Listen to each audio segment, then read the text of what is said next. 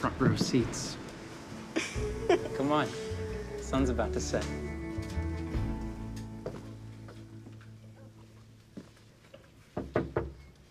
May I?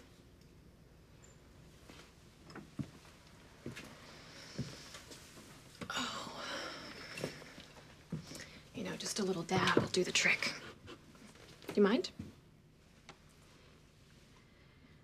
Okay.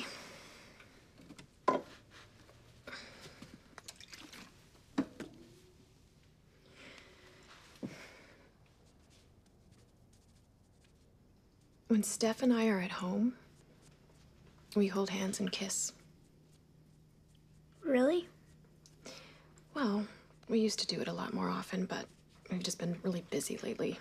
What does being busy have to do with holding hands? Okay, we're getting a little off track here. Um, my point is, sometimes when we're we're out in a new neighborhood or we're walking home late to our car, we won't hold hands.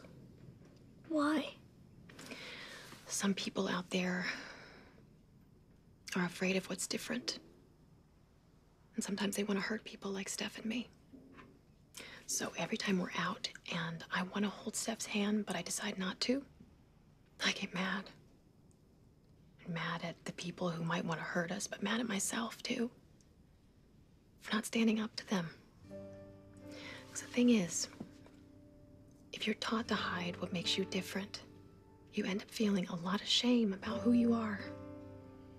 And that's not okay. There is nothing wrong with you for wearing nail polish. Just like there's nothing wrong with me for holding Steph's hand. What's wrong is the people out there who make us feel unsafe.